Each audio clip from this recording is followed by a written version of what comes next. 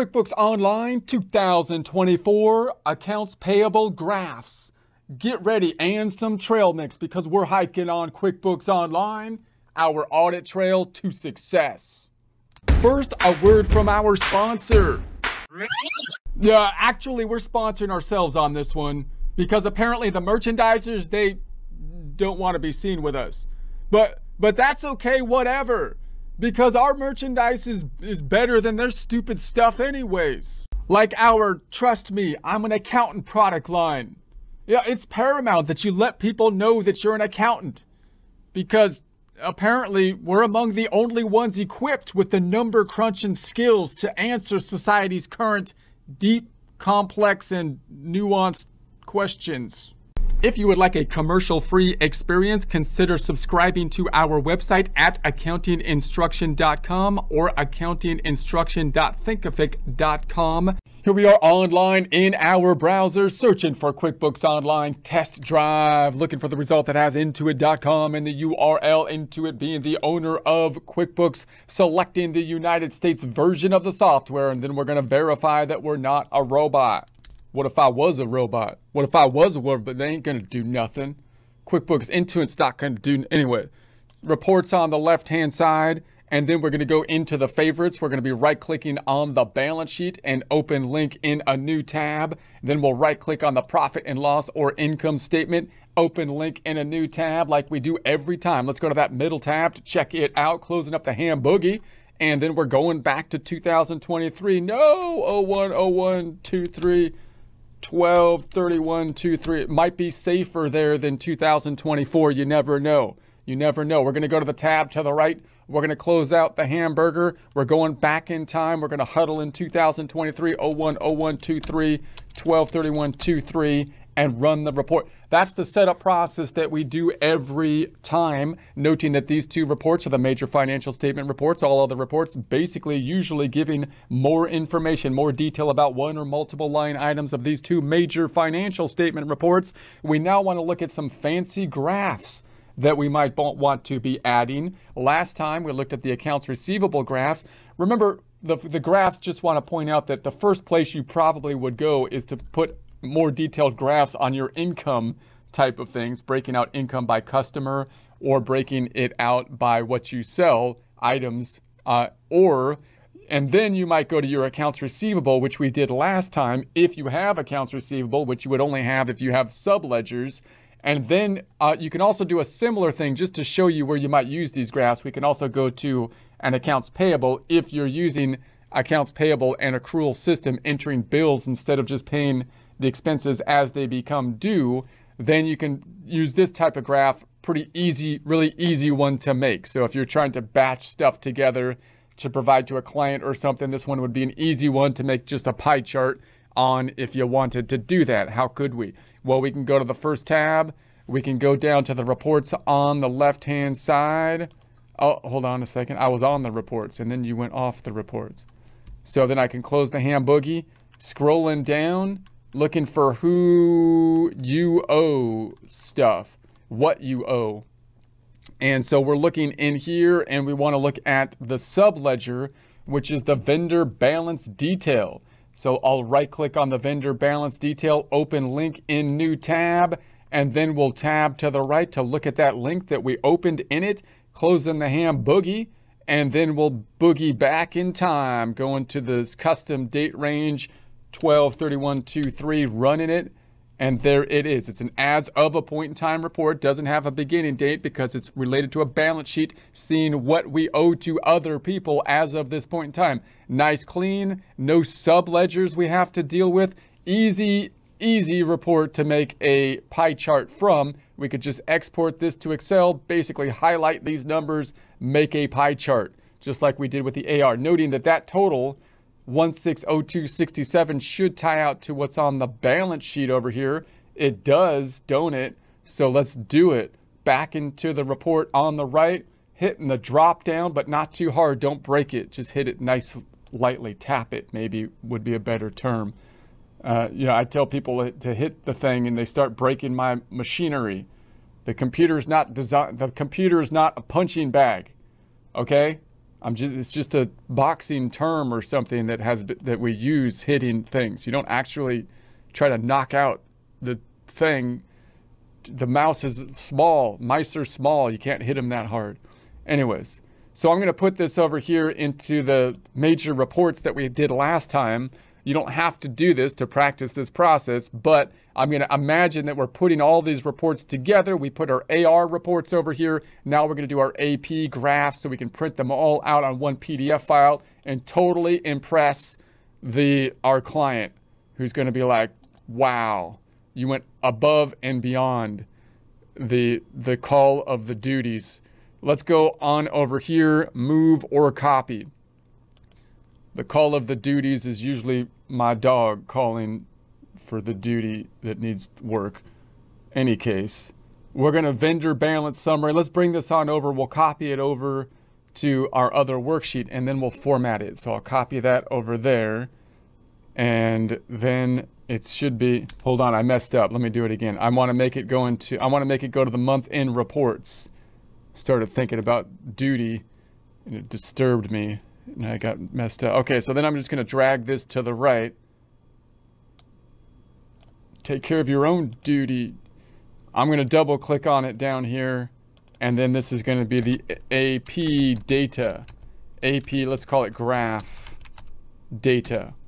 So then we'll just clean this up. I'm going to hold down control, scroll up. I'll do this quickly because we saw basically the same process in the AR side. So I'll do it fairly fast. So I'm going to put my cursor on column one, Scroll down to column five, right click. I don't need that stuff, so I'm going to right click, delete it.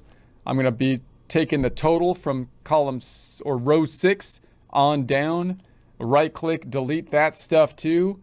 And then I like to format it in one formatting. I'm going to use this Calibri 11 by simply home tab, format paint, painter, paintbrush the entire worksheet so it has the same format. And then I'll reformat the entire worksheet, right clicking on it, formatting the cells, I like to make it currency, negative numbers bracketed, no dollar sign. We don't really need the decimals in this case because it's going to be a rounded pie chart, not really the most specific type of thing. Pennies are just going to confuse people. Home tab, let's make it bold.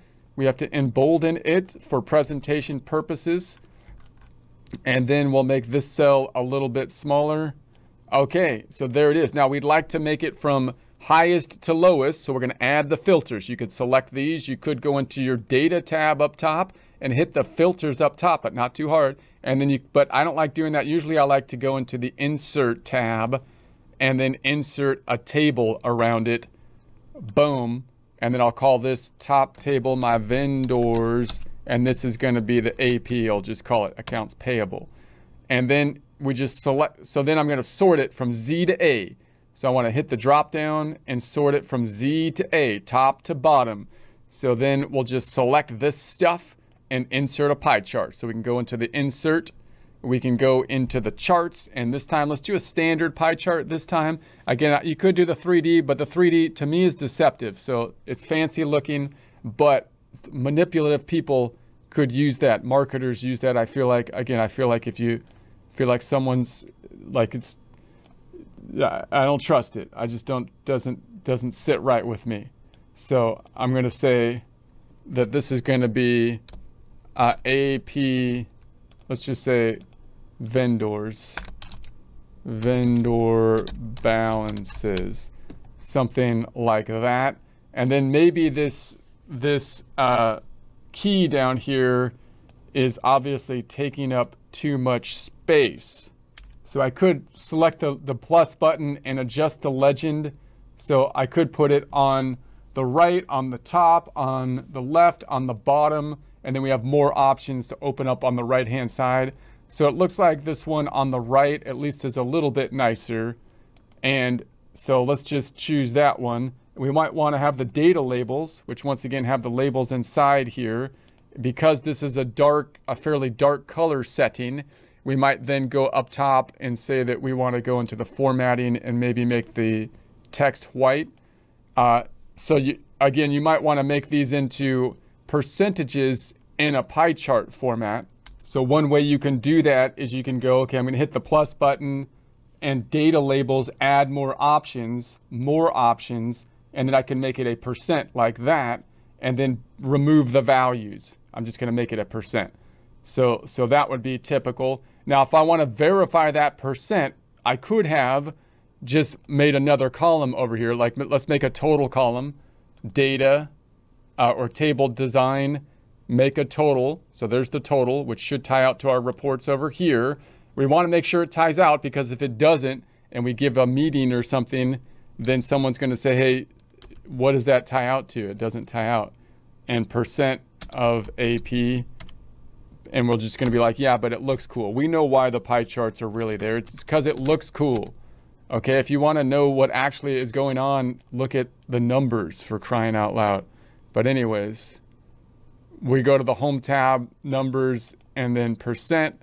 If I sum this up, that should add up to the total. Uh, we'll sum it up.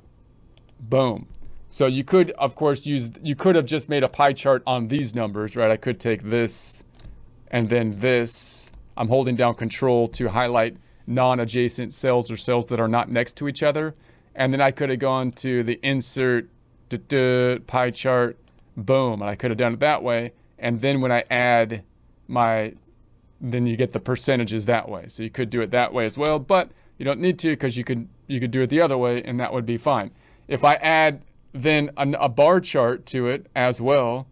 We can do boom, table design, or let's insert, let's just do the standard bar chart this time since when we went fancy, not that's a histogram. We're not doing histograms. We'll still go a little fancy, maybe with like the sideways bar chart. Like that maybe. And then you could change the colors of it and whatnot if you wanted to but I won't go into depth on that. That's just to get an idea.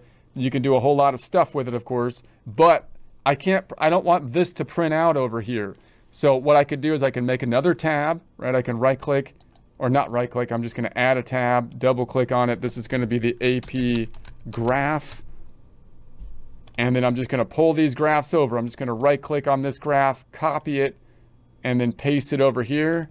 Right click and paste. Maybe I should have cut it. Let's cut it and paste. Uh-oh. Did I cut it? Let's right click and cut. I did cut it, but I said copy. Do what I do, not what I say. Unless I do the wrong thing and then say the right thing, in which case, do what I say and not what I do. And so I'm not sure that's kind of confusing.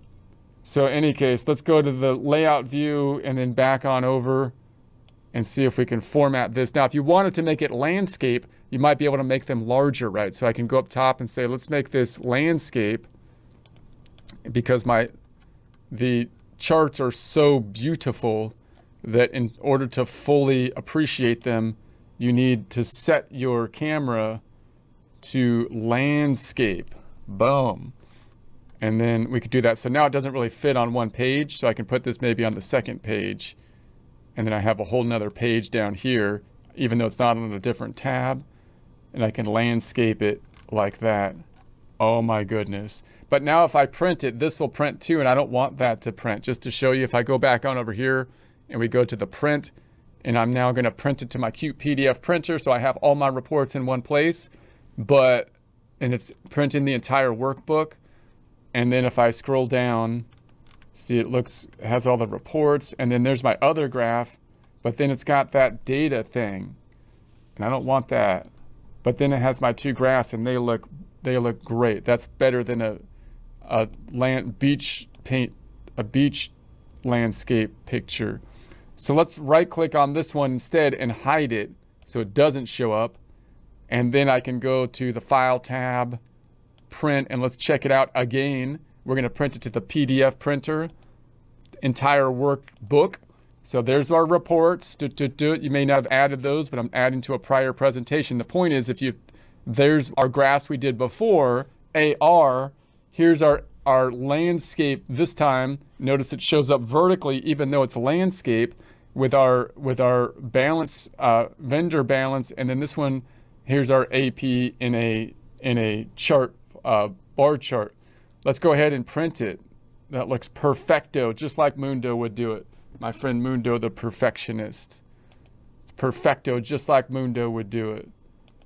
Okay, so then I'm going to unhide. Now note that you can unhide too. Like if I select from here to here, or let's go from here and then hold down shift to here, right click and unhide, unhide. So if you here's the two that are hidden in there. So if you suspect that there's hidden stuff in, uh, in a worksheet, I'm going to right click and unhide. Then this is how you, you might want to check out to see if there's hidden stuff. So now I've brought it back out. And if I can then, I'll save this. I'll take a look at our worksheet now that we have the landscape view. We will admire it just like a setting sunset over the Pacific. And so we'll say, here it goes. There's the landscape. It still shows vertically. And then down here, we have the more reports. And then there's our AR, which was portrait. And then we have the landscape still shows up, still shows up. So I read it, it's not, it didn't shift it sideways. So I have to turn, like, look at my, I have to turn my computer on its side, my monitor on its side to see it. No, it shifted so that it looks correct, just like it should do. That makes sense. So there's that one.